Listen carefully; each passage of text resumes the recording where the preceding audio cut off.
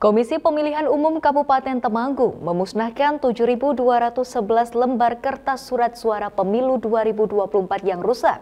Surat suara tersebut dimusnahkan untuk menghindari adanya kecurangan dalam pencoblosan pemilu 14 Februari.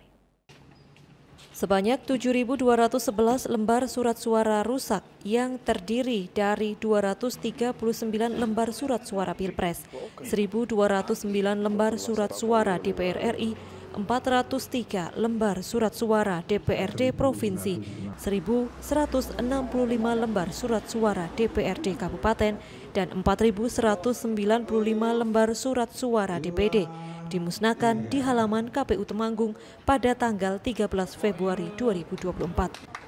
Pemusnahan surat suara rusak dan sisa dilakukan dengan cara dibakar, dilakukan oleh Komisioner KPU didampingi Komisioner Bawaslu dan Kasat Reskrim selaku perwakilan dari Polres Temanggung.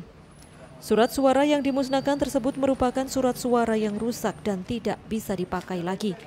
Selain itu, menurut Ketua KPU Temanggung, Henry Sofian Rois, sesuai ketentuan dari KPU bahwa surat suara yang rusak harus dimusnahkan.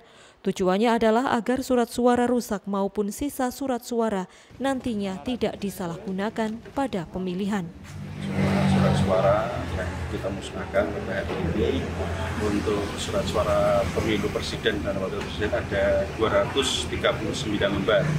Kemudian untuk surat suara pemilu anggota DPR RI sebanyak 1209 lembar.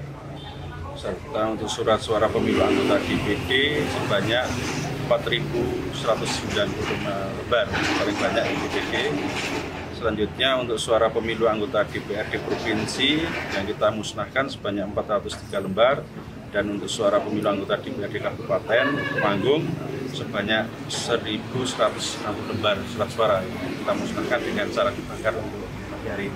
Kenapa harus dimusnahkan, Mas? Ya, kita uh, melakukan kegiatan musnahan ini sesuai dengan ketentuan dari PKPU di satu hari sebelum hari H kita melakukan pemusnahan terhadap surat suara yang setelah disortir tentang rusak kemudian sisa surat suara yang tidak dipergunakan dengan harapan dengan adanya pemusnahan ini kita menghindari misalnya ada penyalahgunaan surat suara menggunakan surat suara untuk kecurangan. Selesai pemusnahan, Ketua KPU, Ketua Bawaslu, dan Kasat Reskrim melakukan penandatanganan berita acara pemusnahan surat suara rusak.